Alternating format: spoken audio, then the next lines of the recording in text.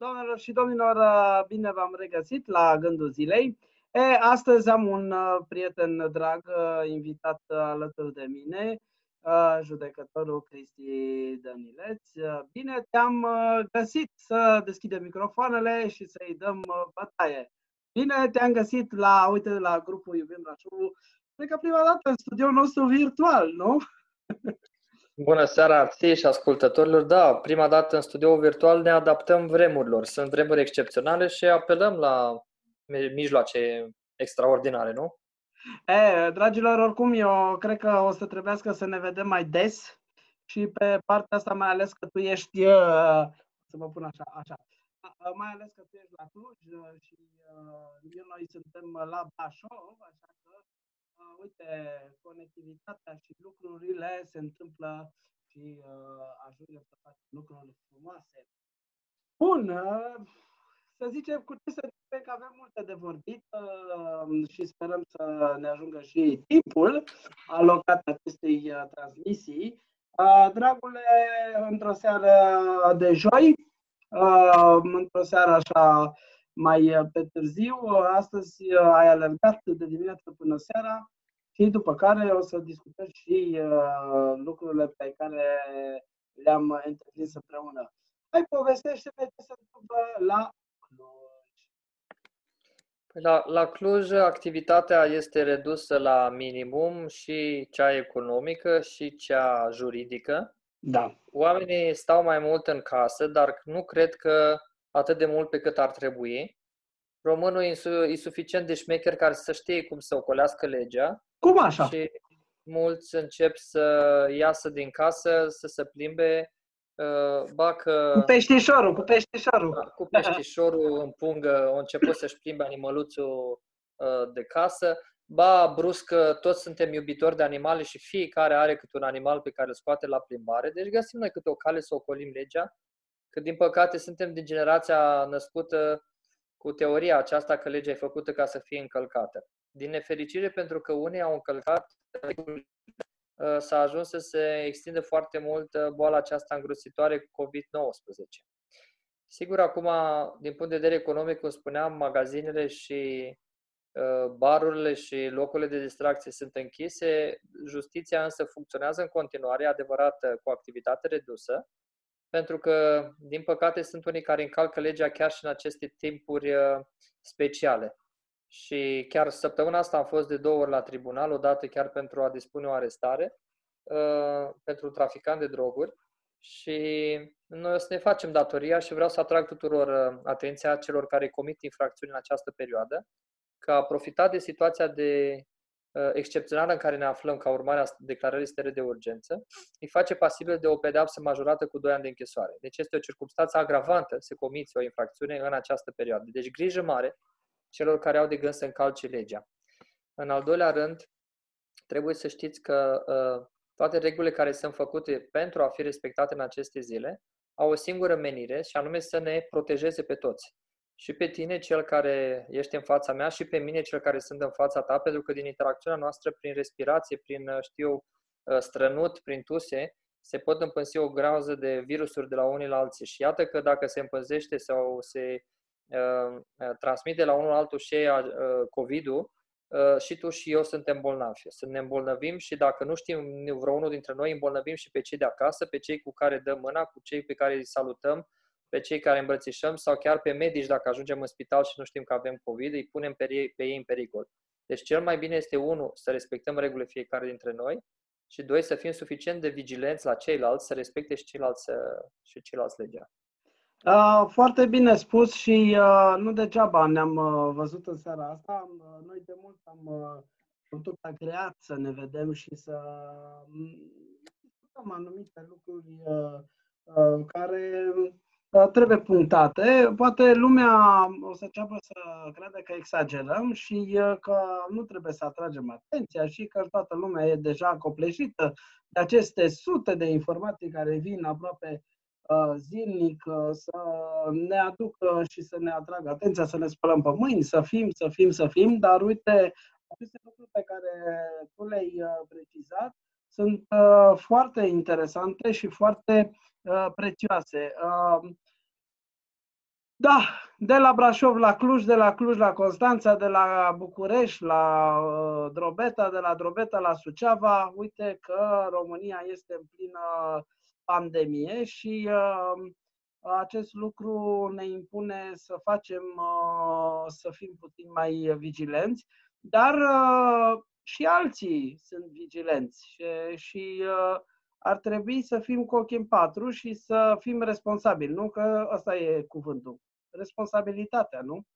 Asta e bine spus pentru că lumea a perceput, lumea în anii de după 89, după Revoluția din 89, a perceput libertatea ca fiind așa, o chestie în care tu Uh, poți să faci tot ceea ce îți trece prin cap. Uh, am că de fapt libertatea presupune o mare responsabilitate. Practic, uh, libertatea este ca o monedă cu două fețe. Pe una este dreptul și pe cealaltă este responsabilitatea. Nu poți să ai drepturi fără responsabilități. De exemplu, eu am un drept de proprietate. Toți cetățenii de pe glob au obligația să-mi respecte acest drept. Niciun cetățean de pe globul ăsta, de 7 miliarde de oameni, nu are voie să pună mâna pe telefonul mobil să-mi ia. Deci, iată, un cetățean care are un drept care se opune tuturor. Asta înseamnă că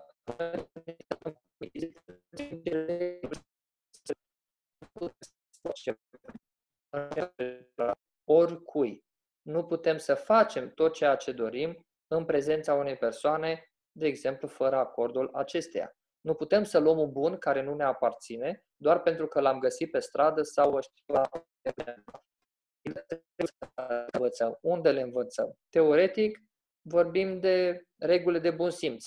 Practic, ne-am dat seama că bunul simț al meu e diferit de al tău, de, diferit de altuia, de altuia, de altuia.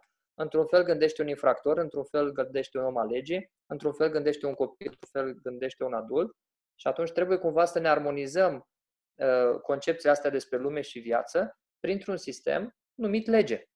Legea fiind o chestie de data asta nu subiectivă, cum este bunul simț, este răspândită, adoptată de către uh, organele pe care noi înșine le-am ales și trebuie de aplicat de către oricine, oricare dintre noi. De aceea eu susțin că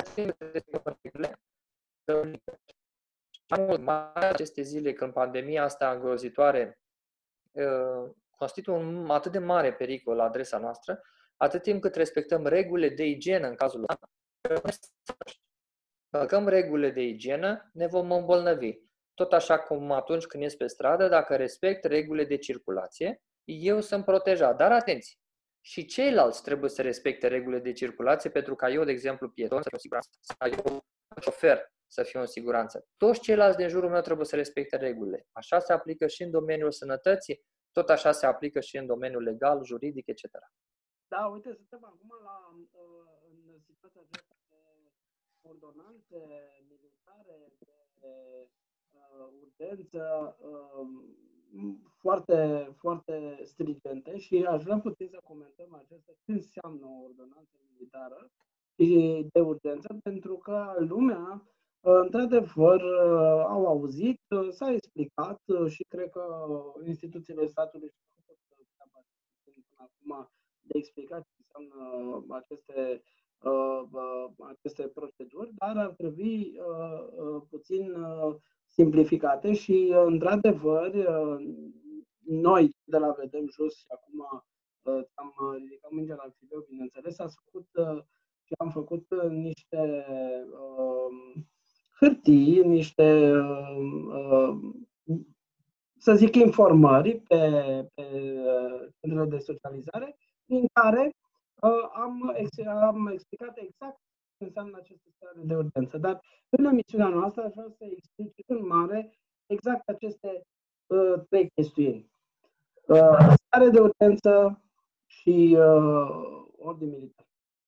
Da. Uh, există o Uh, dispoziție în uh, Constituția țării, care este actul fundamental, ce permite președintelui stării, uh, țării să declare o stare de urgență în momentul când se întâmplă ceva extrem de periculos la adresa întregului popor. Răspândirea unei astfel de boli, precum COVID-ul, care nu are un antivirus în momentul de la moarte până la decesa unor persoane a determinat actualul președinte să declare stare de urgență așa cum s-a întâmplat și în alte state uh, ale lumii. În timpul declarării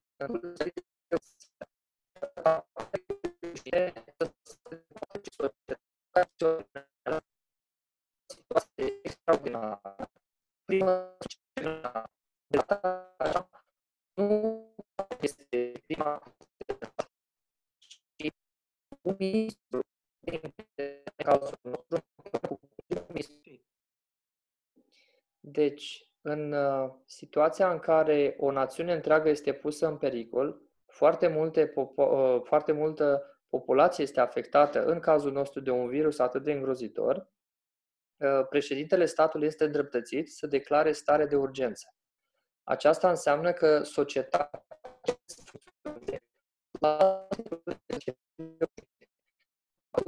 de unăs Parlamentul era principala putere în stat, principala putere democratică care putea să ia decizii cu privire la toți cetățenii. Astăzi, această putere, dacă vreți, este cumva trecută în panoplia, în atribuțiile ministrului. Primul ministru decid care sunt măsurile urgente ce trebuie luate pentru a face față acestei pandemii. Uh, nu mai este timp ca Parlamentul să adopte legi, să le dezbată, să fie atacate la Curtea Constituțională, să voteze o cameră, să voteze cealaltă cameră, să promulge președintele. Exact. Totul trebuie să fie extrem, extrem de rapid. Ei, această, această procedură, dacă, dacă vrei, această, această modalitate de lucru trebuie să fie atât de urgent încât cu ordinile militare. Pentru că în timp de război au dispoziții și soldații le execută fără să le poată discuta. Ei, asemenea modalitate de lucru se aplică într-o situație de urgență și pentru noi. Acest ordin, dacă vrei să-i numește ordonanță, atât cei din subordinea Ministerului de Interne, cât și ceilalți din uh, uh, celelalte ministere, plus noi, societatea civilă, și ele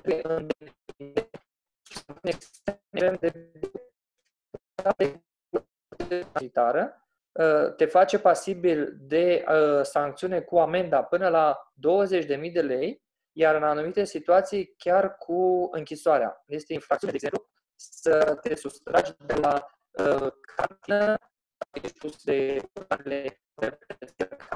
și dacă cauza asta uh, a fost afectată, a fost îmbolnăvită o persoană. Deci acest lucru te poate face responsabil penal. Deci grijă mare în momentul în care tu decizi să încalci legea sau încerci să încalci legea. Da. E foarte bine, foarte bine precizat și uh, bun.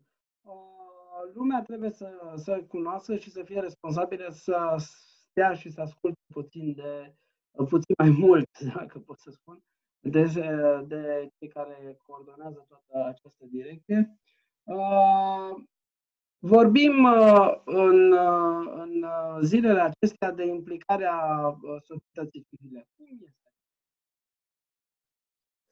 Păi, ceea ce se întâmplă în aceste zile este extrem de, extrem de neobișnuit, pentru că, pe de o parte, sunt mulți bolnavi care ajung în uh, contact cu sistemul medical și trebuie tratați repede, trebuie tratați bine. Uh, pe de altă parte, avem medicii care sunt ei înșiși în pericolul de a se îmbolnăvi și atunci ei trebuie ocrotiți, trebuie să poarte anumite echipamente și să aibă la dispoziție anumite resurse uh, care să-i facă pe ei să le dea o siguranță la, la boală. Și în al treilea rând, avem nevoie ca populația să respecte regulile pentru ca cât mai puțin dintre noi să ajungă în fața față cu un medic în aceste zile. Cu toții știm că sistemul nostru medical nu funcționează foarte bine. Sunt dotări incomplete sau chiar inexistente. Și atunci, societatea civilă, oamenii de bună credință, au luat decizia de a sprijini ei înșiși dotarea în aceste zile a spitalelor, a policlinicilor, a farmaciilor. Și facem parte și noi, organizația Vedem Just, facem parte dintr-o mișcare care a început la Cluj, dar s-a extins uh, rapid în toată țara. Um, s-a, s-au coalizat mai multe ONG-uri și au format o organizație ad hoc numită aici la Cluj Vă ajutăm din Cluj, care inițial și-a propus sprijinirea persoanelor izolate la domiciliu pentru a uh, cumpăra cele necesare traiului, fie alimente, fie medicamente, dar încetul cu încetul s-a extins și cu privire la sistemul medical, astfel încât ne ocupăm și de dotarea spitalelor și a medicilor cu cele necesare. În concret, de exemplu, uh, partea care a revenit organizației Vedem Just este procurarea și distribuirea de vizete, acele uh, scuturi faciale, scuturi faciale atât de necesare medicilor pentru a-i proteja de orice fel de uh, picătură în care s-ar putea afla îngrozitorul virus, virus COVID. Și în felul acesta încercăm și noi să ne aducem o mică contribuție, cumpărând material plastic, Uh, antrenând uh, antreprenorii locali, diverse centre care până mai de mai uh, ieri se ocupau doar cu imprimarea 3D sau cu, știu, cu tăiat, tăiat tot felul de obiecte în, cu laser. Astăzi acești antreprenori au devenit fabricanți de viziere, după care ele sunt distribuite gratuit și subliniez gratuit de către voluntare organizației noastre Vedem Just, așa cum și în Brașov, Uh, sunt uh, organizații care se ocupă de fabricarea și distribuirea uh, vizierilor. Da, chiar am, chiar am făcut Alba, o, Arad. Da, am făcut o, o emisiune cu parteneri care au făcut aceste viziere și uh, le mulțumesc celor de la Universitatea Transilvania prin uh, profesorul Comcit, că am, uh, au reușit să, să aducă la bun sfârșit ceea ce și-au propus. Uh, acum, venind, uh, venind tot în spiritul legii, bineînțeles că aceste acțiuni sunt, într-adevăr, incluse în ordonanța militară. Tot ceea ce trebuie noi să facem sau ceea ce ne este interzis să facem este prevăzut într-un document oficial numit Ordonanță Militară, care ordonanța a ajuns la numărul 6 în momentul de față.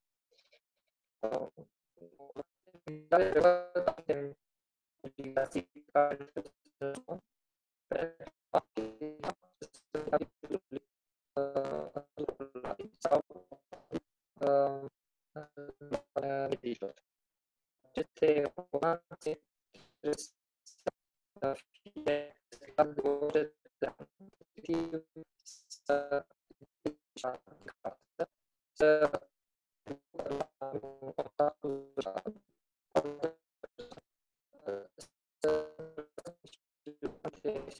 exemplu,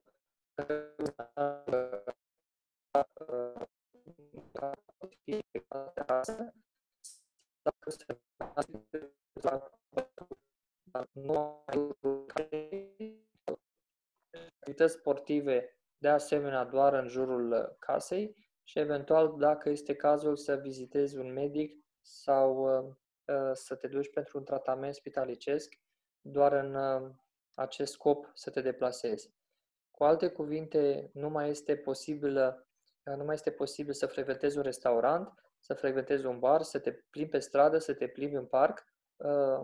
Cel mai bine este, din punct de vedere al specialiștilor în igienă Uh, sanitare, să stai cât mai mult în casă, izolat, pentru a împiedica uh, luarea acestui virus. Deci ordonanțele militare îți arată în concret când poți să ieși din casă, ce se întâmplă dacă uh, regulile cu privire la care este care nu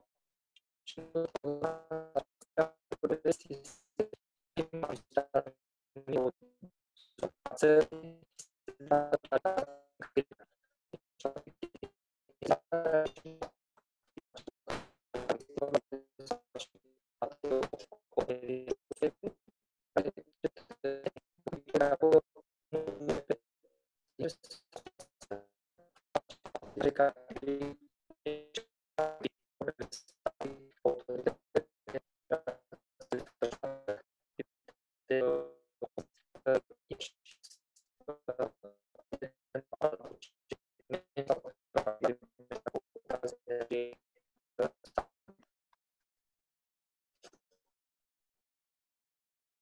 auzim? Suntem ok? Da, sigur. Ne Ok. Uh, da, e foarte bine precizările acestea și uh, eu îți mulțumesc că, uite, într-adevăr, uh, poate la noi în, uh, în România lumea a înțeles. Bine, nu au înțeles chiar tot să facă ceea ce trebuie să facă, și, uh, dar majoritatea populației, după cum am văzut, s-au opliat pe aceste, aceste ordonanțe.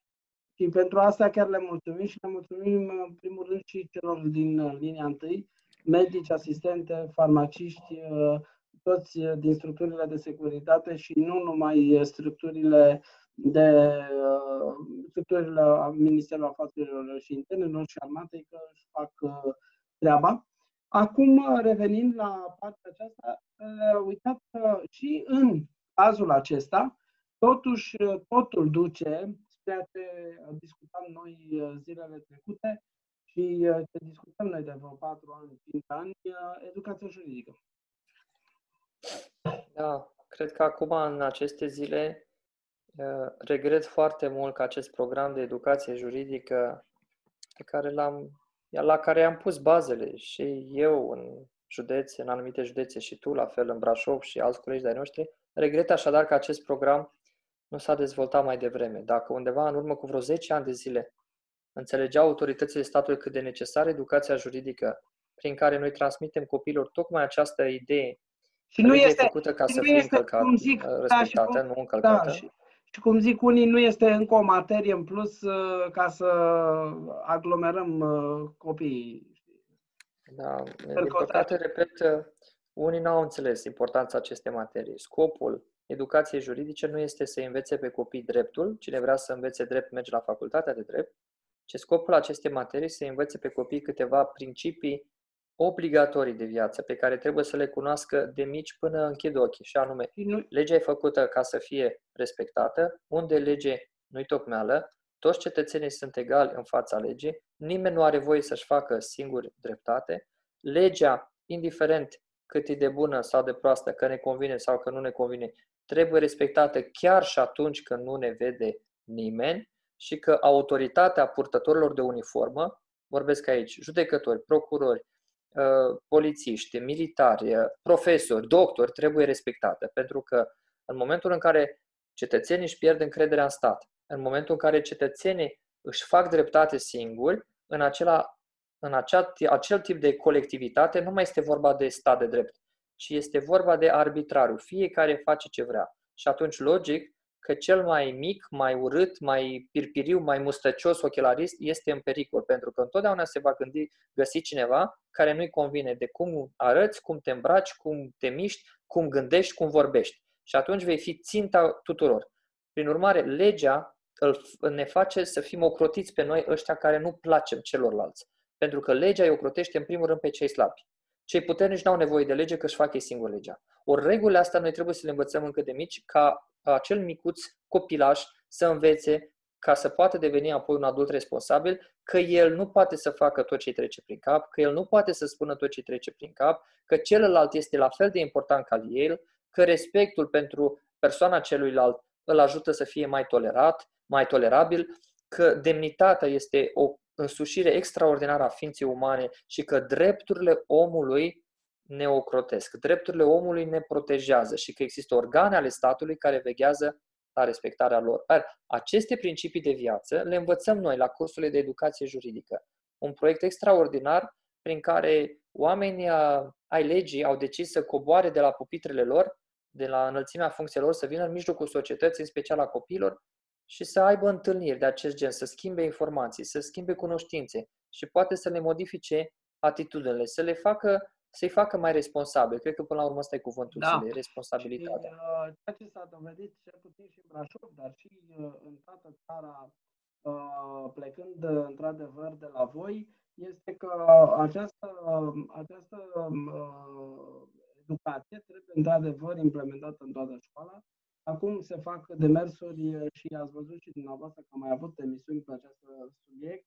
Da, și ați văzut întotdeauna, vedeți pe grupul Iubim Brașovul toate uh, materialele care vin de la, uh, de la Vedem Just și uh, sistemul EU, EU Iuri, care într-adevăr vă pun la bază tot ce înseamnă acest sistem de, de educație juridică și vreau să vă spun că au fost foarte bine primite. Dar exact acum 3-4 zile vorbeam cu reprezentanții Inspectoratului Școlar Județean Brașov și discutam expres de această necesitate exact în această, în această situație. Pentru că, într-adevăr, o, o elită sau un grup de elevi, un grup de uh, uh, oameni care se vor modela, dacă ei deja știu anumite priorități și mai mult decât atât știu, într-adevăr, bazele acestei structuri, că toată lumea zicea că este, a, păi nu, că este educație civică. Atenție, nu este educație civică. Educația civică de pe vremurile noastre este o educația civică, unde învățăm alte lucruri uh, uh, și asta am vorbit cu alți profesori și nu, educația juridică într-adevăr este adaptată și ați văzut foarte bine materialele și am și lansat cărțile pe care noi le avem, care sunt în concordanță, că aici, uh, aici uh, poți, bineînțeles, tu să spui treaba aceasta, sunt în concordanță cu acele Uh, protocoale încheiate cu toate uh, instituțiile abilitate ale statului, început de la Înalta Curte de Casație și Justiție, Ministerul Justiției, CSM-ul, uh, Ministerul Învățământului, a creat de toată lumea. În fine, în această perioadă a fost și această perioadă destul de complicată și din punct de vedere al pandemiei acestea, dar veți vedea că vom face pași majori și ni s-a promis într-adevăr că această educație juridică va fi într-adevăr uh, pusă uh, la sistemul de uh, cum este acum în câteva, în câteva orașe mari de opțional, dar noi dorim într-adevăr să ajungem ca o oră de sine strătoare cu oameni care să se poată încadra din afara sistemului a să predea această materie și cred că acesta este și uh, Uh, de fapt, care e uh, beneficiul. Beneficiul este într-adevăr pentru elevi și pentru uh, comunitatea noastră mai departe, nu numai în partea de uh, listă.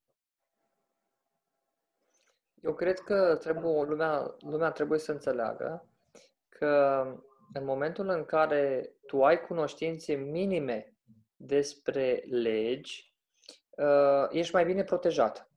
De exemplu, atunci când uh, tu știi că dacă într-o localitate nu există sau vezi că nu există trotuar și trebuie să te deplasezi pe carosabil, tu știi că trebuie să mergi pe partea stângă a drumului și nu pe partea dreaptă, ca să vezi mașina din fața ta. Dacă știi această regulă simplă, tu ești în siguranță.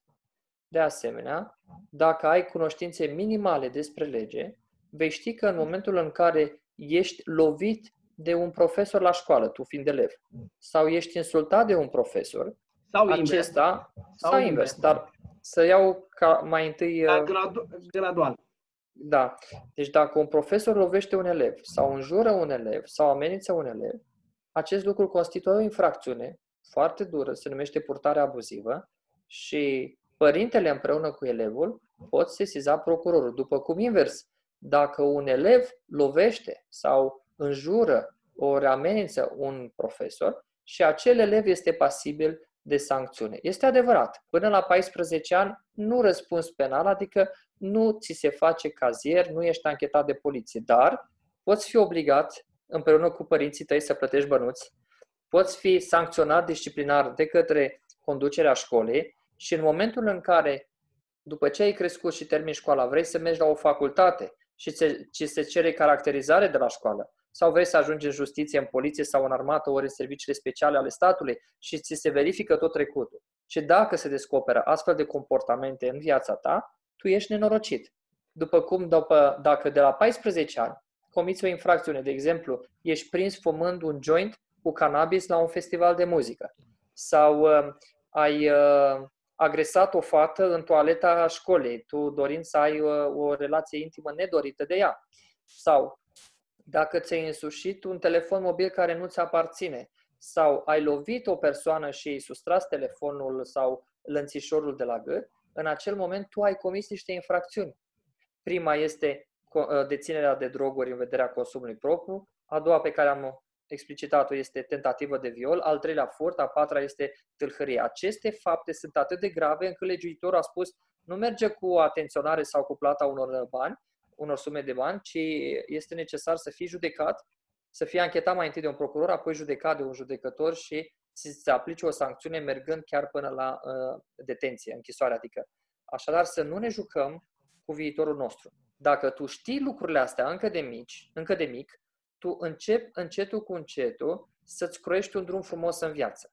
Respecti regulile, atunci nu ai probleme. Dacă cineva are probleme cu tine, acționezi potrivit procedurilor și respectivul trebuie sancționat, că aici mai este o problemă. Vedem că unii din jurul nostru comit infracțiuni și noi întoarcem capul în partea altă, nu ne uităm și plecăm mai departe. Nu, nu, iar, nu. Iar, iar, e, iar e o problemă.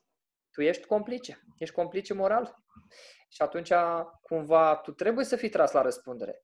Uh, și dacă noi devenim uh, mai informați, dacă noi dobândim o atitudine mai, mai civică până la urmă, mai umană, aș putea să îndrăznesc, atunci încetul cu încetul o să începem să ne ajutăm unii pe alții pentru că ne pasă unora de alții. De exemplu, cu mine zile acestea îmi pasă de medici din spital, deși eu nu sunt pacient, niciun mem- membru al meu, al familiei nu este pacient, dar s-ar putea într-o zi să fie.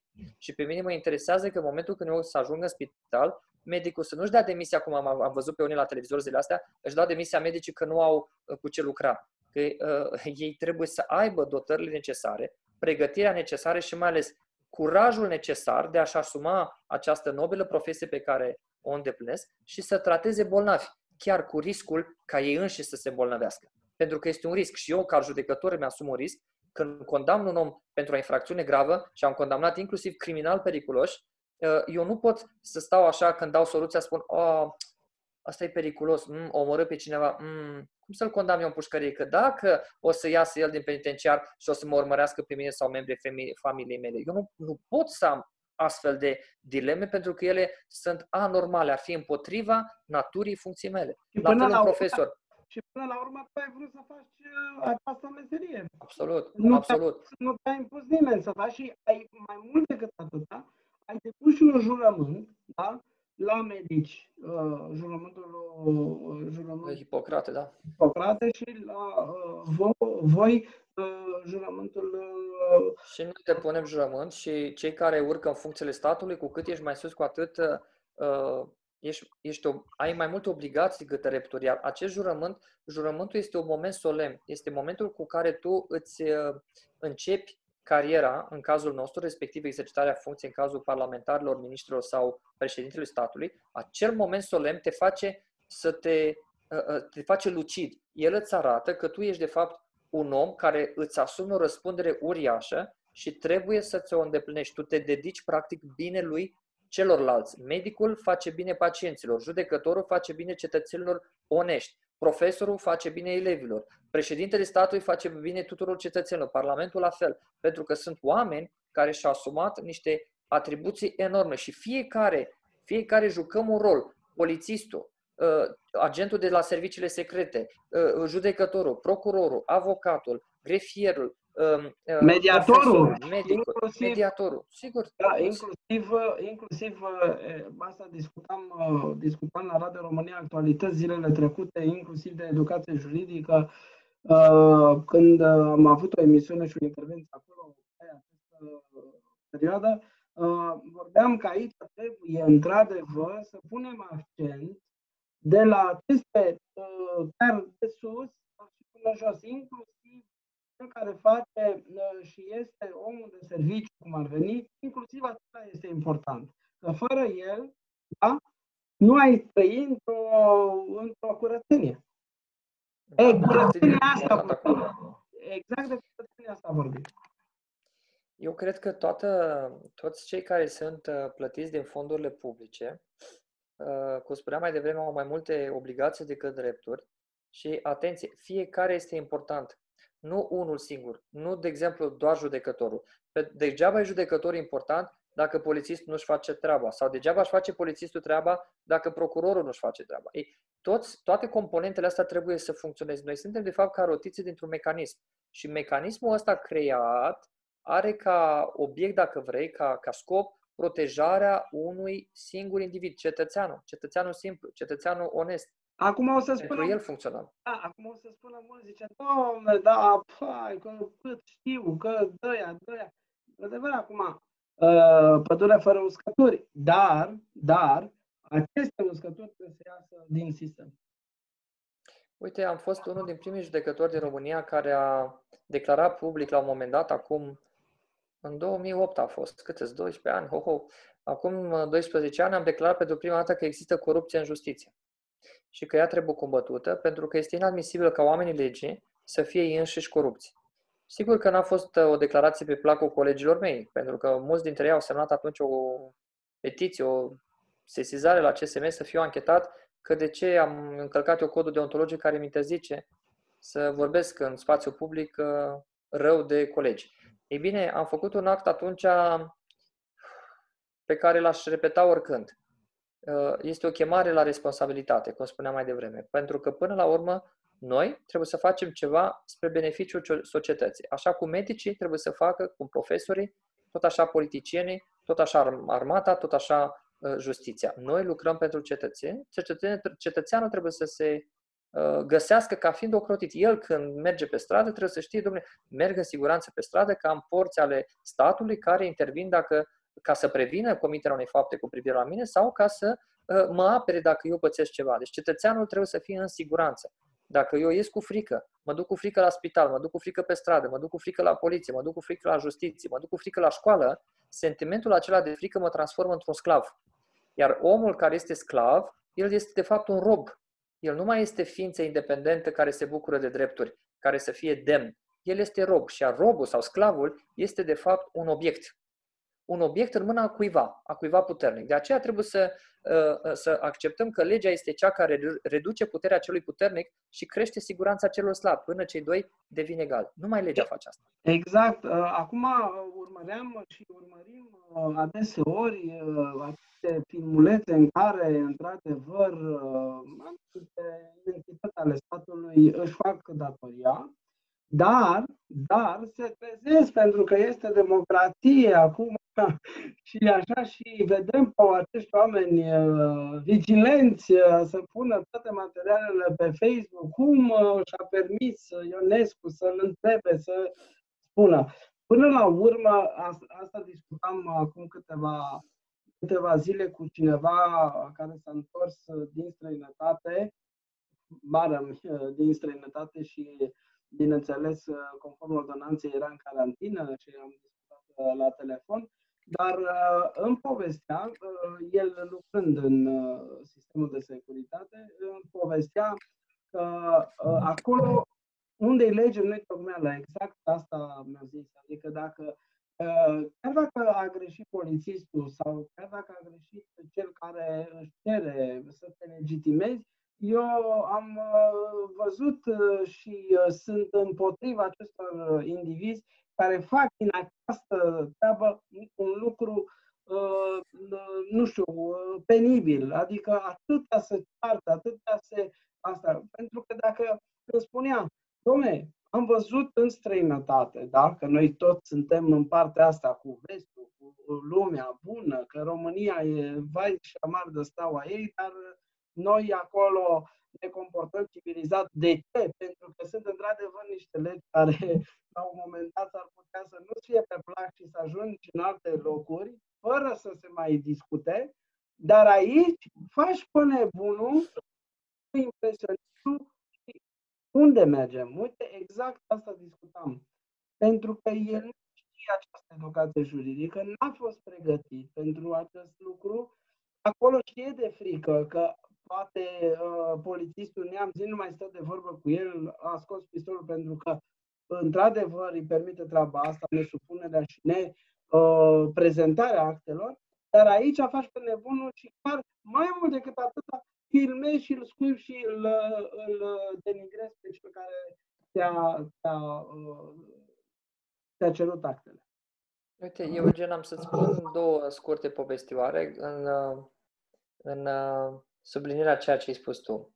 În urmă cu câțiva ani de zile a trebuit să plec până la Budapesta, eu stau în Cluj, și uh, ca să iau un avion din Budapesta într-o, țară, uh, într-o altă țară și mi-am, m-am dus cu un microbuz. Și am mers cu până la graniță, la, la Oradea, la Vama la Borș, după care, în momentul când am trecut granița, șoferul se întoarce spre noi și ne spune, puneți-vă centurile, am ajuns în Ungaria, am trecut în Ungaria, puneți-vă repede centura.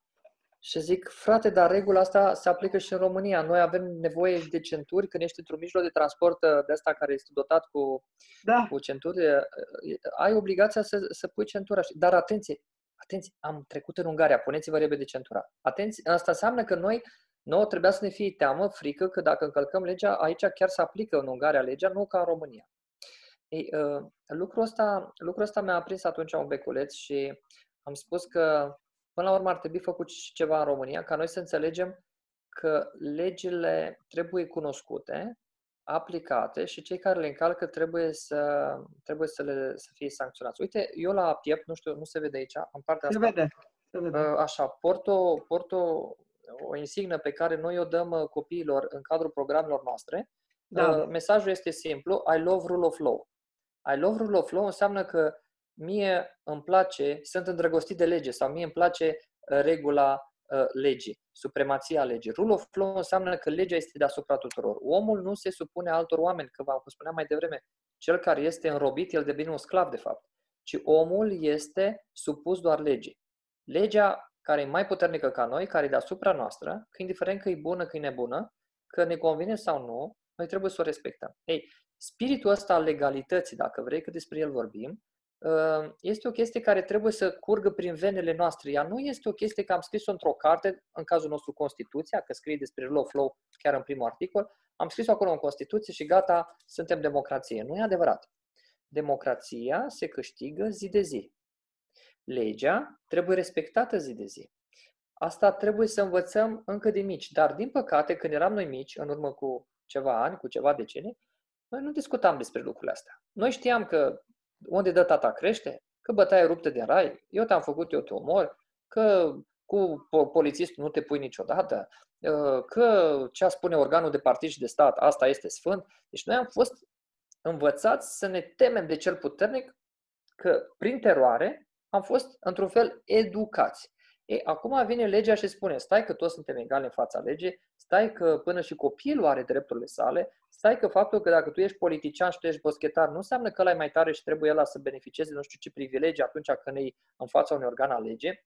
Stai că părintele nu poate să agreseze uh, nici verbal, nici uh, fizic un copil și dintr-o dată noi, ăia educați în urmă cu ani în alt spirit, ne-am trezit într-o, în ceva halucinant. Domnule, ce se întâmplă? Să schimbă societatea? Cum adică nu mai sunt valabile lucrurile? Cum adică e copilul meu? Domnule, dacă e a meu, fac ce vreau cu el. Îi trag două palme că toți am fost educați cu câte o bătaie la fost și la toți nu au prins bine. Cum adică vine mie legea să-mi spună că n-am voie? Ei, e greu de lupta cu astfel de mentalitate. Da, da, da și eu... democrația. Da, da, și democrația să nu fie prost înțeleasă. E adevărat. De aceea și spuneam mai noi, devreme. Că la noi, exact aia, puneți-vă centurile că trebuie să în Ungaria, știi? Adică... Ei, ce vreau eu să spun este că, până la urmă, noi trebuie să educăm două generații. Și foarte important aici, două generații. O generație adulților și o generație a copiilor. Generația adultă care este bolnavă, virusată, ia uite, folosesc un cuvânt periculos în ziua de azi, deci o generație care este defectă a adulților. Și o generație care vine din spate și are nenorocul să aibă ca exemplu generația noastră. Și, și atunci, să te comporte aproape ca și exact. ea. Pentru că copiii, până la urmă, învață prin imitare, imitarea adulților în cazul nostru. Ori noi suntem generația, repet, defectă din cauza ceea ce a fost comunismul. Și acum, încetul cu încetul, încercăm să reconstruim. Și democrația, într-adevăr, se cucerește în fiecare zi, ea nu este un dat. Am făcut Revoluția în 89, am scris în Constituție că suntem democrație și gata, am devenit democrație. Aiurea! Aiurea! Eu cred că de-abia nepoții noștri vor fi cei care vor trăi o, o democrație autentică. Pentru Uite, că noi dacă... suntem defecți, da, copiii dacă... noștri sunt deja virusați, da. urmează ca copiii copiilor noștri să fie cei care vor prinde o democrație autentică. Vezi, dacă te auzea Brucan, El a, au trecut 20 de ani, deja suntem în al 30. Știi că l-am judecat mulți pe Brucan, Brucan atunci că a spus uh, chestia 20. cu 20 de ani, trebuie o tranziție de 20 de ani și am spus că băi, dar asta ne face proști pe toți, chiar așa, cum tranziție de 20 de ani. Uite, eu acum dacă aș fi, dacă n-aș fi om alege și ar fi să definez societatea românească, ce tip de societate de democrație suntem, ți-aș spune cu mâna pe inimă, suntem o societate postcomunistă. Nu ți-aș spune o societate occidentală, democratică. Nu, nu pot să spun încă. Dar ca om alege sunt obligat să-ți spun asta pentru că uh, respect foarte mult Constituția, respect legile statului și încerc să uh, trec cu vederea anumite anomalii, anomalii. Dar în domeniul sociologic, România este doar o stat postcomunist, o, este Are un, un prunc. Da. da.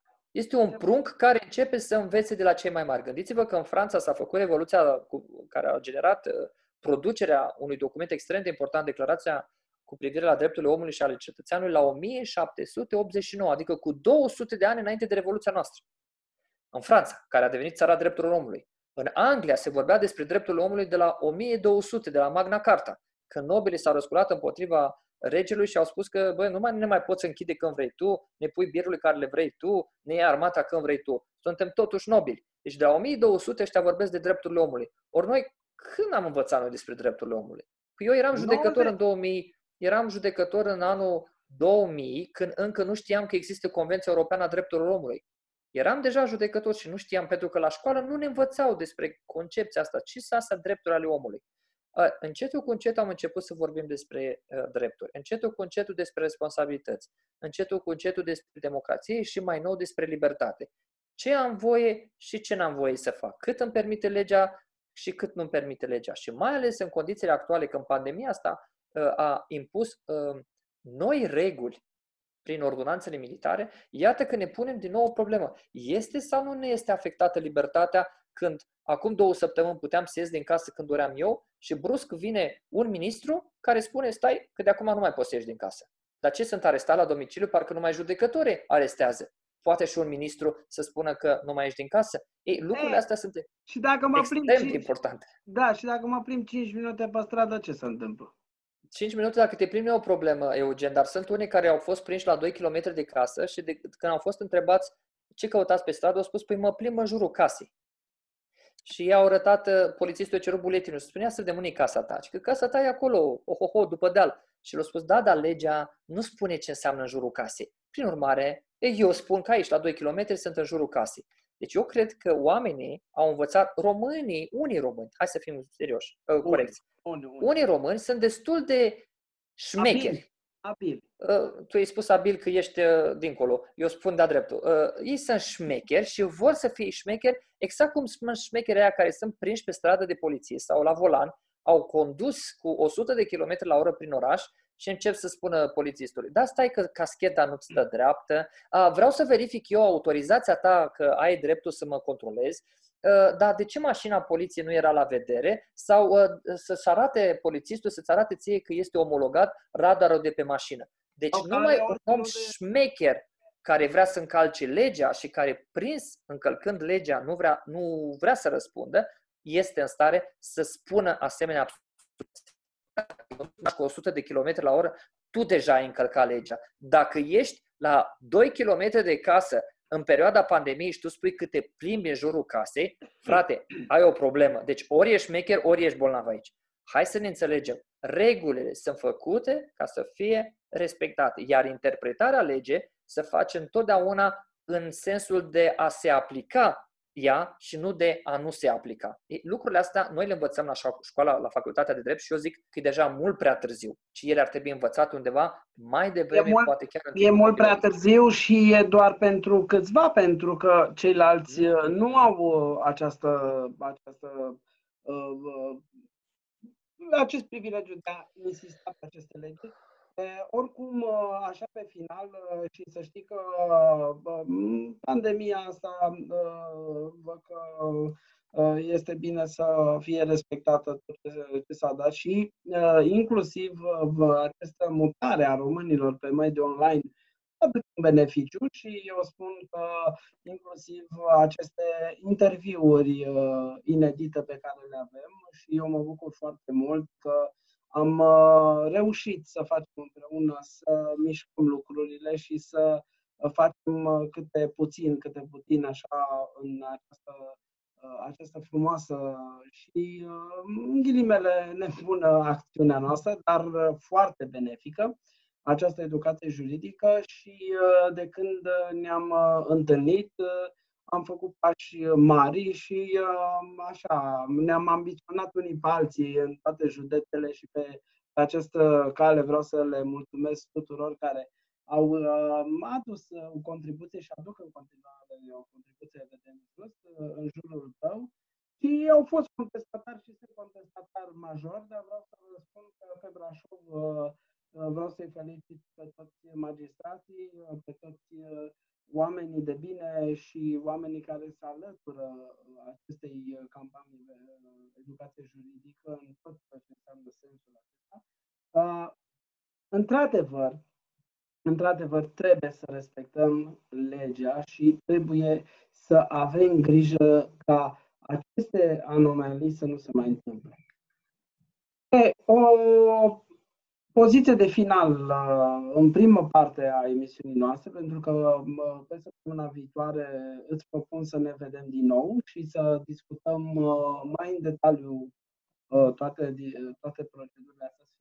Mai mult decât atât, să discutăm și ceea ce se întâmplă în România prin aceste ordonanțe și să vedem, sperăm să fim bine și să nu, să nu intrăm mai rău în această pandemie cum este acum proiectul acesta educație juridică? Am uh, reușit să vorbesc, e adevărat că înainte de izbucnirea pandemiei, să vorbesc cu doamna ministru a educației, care s-a arătat extrem de încântată de proiect. Foarte bine. A, a, da, a subliniat necesitatea unei astfel de materii, iar eu i-am spus că nu-i musai să fie o materie distinctă, poate să fie și uh, un modul în cadrul unei materii deja existente, ideal ar fi să avem, de exemplu, o educație civică și juridică. Pentru că una trebuie să se ocupe de uh, calitatea ta de cetățean, de relația cu statul, de uh, uh, modul în care ești ocrotit într-un stat, iar cealaltă se ocupă de drepturile tale concrete, de responsabilitățile tale, de sancțiunile pasibile cu privire la tine, de consecințele sancțiunilor asupra viitorului tău, de procedurile care se aplică în anumite situații concrete prin care uh, treci. Uh, doamna ministra educației a fost extrem de încântată și a promis o susținere totală a acestui proiect. Din păcate, a venit această pandemie care nu face decât să întârzie, ca să zic așa, sau să suspende măsurile administrative necesare pentru a implementa materia în toată țara. Noi deja avem câteva zeci de școli și licee unde această materie se predă de către profesori uh, încadrați la acele unități școlare. Eu pe, sper modelul, că... pe modelul pe care noi l-am găsit împreună da, da. La, la și uh, după exact, chiar la Brașov discutam, da? Și eu sper că, sper că din toamnă când se vor relua, nu mă îndoiesc că se va relua ciclul normal, firesc al vieții în România, educația juridică să fie acceptată în cât mai multe școli și licee, cu specificarea că deocamdată este materie opțională, așadar părinții și copiii, care elevii, care cred că este nevoie de o informație minimală în domeniul legislației și justiției să accepte astfel de materii, să ceară și să accepte materie de educație juridică, urmând ca cine știe într-un viitor, poate nu prea îndepărtat, să avem posibilitatea să includem în curriculum, în trunchiul comun, în curriculum școlar, materia de educație juridică ca un strict necesar. Eu cred că un cetățean responsabil este un cetățean informat care își cunoaște drepturile, care le respectă, care respectă drepturile altora și care în momente de criză, când trece printr-o situație neplăcută, știe cum să acționeze. Acesta este, în viziunea mea, un cetățean responsabil, cu respect față de cetățenii ceilalți, dar și cu respect față de autoritățile statului. Da, ă, mai vreau să subliniez și faptul că și în alte, în alte țări această educație juridică Uh, se implementează sau se va implementa pentru aceste lucruri. Uh, și uh, este foarte interesant că uh, și foarte bine și e bine că ai amintit această discuție cu doamna ministru. Uh, această întâlnire, uh, bineînțeles, uh, poate o să o facem la Brașov pentru că este pentru României. Uh, după pandemia, care nu vreau să mai stea așa mult aici și să ne lasă să, să abordăm aceste subiecte. Și uh, eu vreau să mulțumesc tuturor uh, care s-au implicat, uh, plecând de la voi. Dar, uite, așa uh, ne-am cunoscut uh, și am cunoscut oameni minunați care împreună am uh, gândit fără aceste, știi, cât câștigă, poate câștigă el ceva, poate, nu știu ce, nu câștigă nimeni nimic, câștigă comunitatea și ne implicăm toți să facem bine. Eu uh, salut inițiativa ta de a relua subiectul chiar într-o situație atât de uh, halucinantă, aș putea spune, prin care trece România, dar și nu numai, și celelalte state. Aș ruga pe cei interesați de subiectul educație juridică să citească această carte, poate unii chiar au timp în aceste zile. Elevul și legea se adresează adolescenților, dar eu fac pariu cu voi, pariez cu voi că și tinerii până în 35 de ani au destul de multe lucruri de învățat. Și nu numai, vă spun, vreau să spun că au, au preluat-o, mi-au cerut, mi-au cerut să, să le spun că se găsesc la Humanitas și au preluat un club de pensionari pentru că au vrut să bravo. facă un, un curs. Acum a venit pandemia și nu am mai putut să merg la ei să le povestesc. Asta a fost și este inedit împreună cu uh, un, un, doi magistrați din Brașov. Deocamdată nu vreau să le dau numele pentru că mi-au spus deocamdată să nu să nu le dau să fie o surpriză, să mergem la acest club de, de pensionari și să, într-adevăr, să le, să le povestim, pentru că exact ce discutam noi doi, uh, ei au trăit, asta mi-au spus, domnule, noi am trăit în altă eră, vreau să vedem ce se întâmplă și vreau să fim... Uh, da. Și o carte din aceea groasă, codurile, uh, codurile așa, nu prea se pricep. Asta le-au plăcut că sunt ușoare și pot să înțeleagă mult mai bine. Îți mulțumesc foarte mult. Dragilor, săptămâna viitoare ne vom revedea uh, pentru că um, am vrea să facem așa, puțin din două în două săptămâni, să ne revedem uh, împreună cu tine și să discutăm uh, toate problemele care apar, să intrăm puțin mai mult în detaliile acestor sute și mii de legi, ordonanțe și tot ce se întâmplă în zona aceasta și cred că, cred că va fi de bun augur.